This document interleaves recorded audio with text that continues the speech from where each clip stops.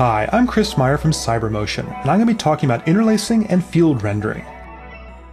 Interlacing is this phenomenon from the world of video. It's a trick to smooth out how motion is displayed.